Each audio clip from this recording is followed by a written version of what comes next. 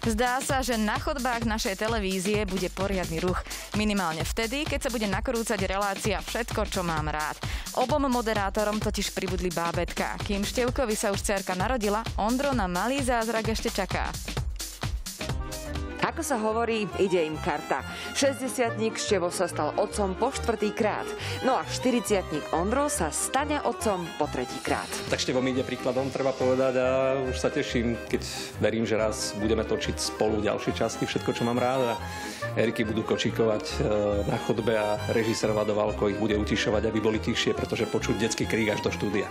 Obom obľúbeným moderátorom a spevákom sa teda v prípade Ondra narodí, no a v prípade Števa už narodila dcerka. Pokojne by sme to mohli nazvať aj dievčenský boom v relácii Všetko, čo mám rád. Radosť Števa skrúcaného z cerky Eli je obrovská. Teším sa veľmi, lebo veď e, jednak je to asi najkrajšie, čo sa v živote človeku môže stať, keď sa mu narodí dieťa.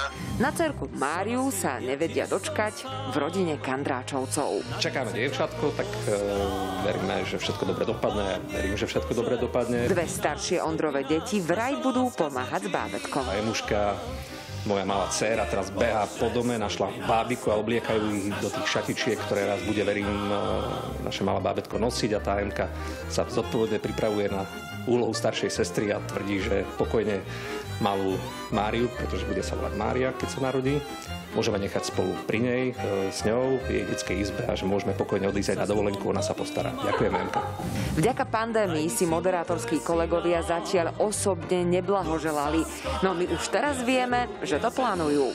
Veľmi sa teda teším aj z toho, že sa stali rodičmi. Ja si myslím, že budú fantastickí rodičia. Tak sme si aj slúbili mm, nezáväzne, keďže mi písal SMS-ku a posielal mi aj fotku, že keď sa všetko dobre e, bude vyvíjať, tak v lete by sme mali spolu moderovať na jednej e, súkromnej akcii na Zemplínskej šírave a dali sme si slovo, že tamto oslávime aj s našimi babami. Oj, na hore, dva duby, dva duby, nikto vás tak nelúbil. Erika Barkolová, televízia Joj. Zajtra vám speváčka Mária Kachút Čírová prezradí viac o ťažkých mesiacoch, ktorými si prešla. Želám vám krásny deň.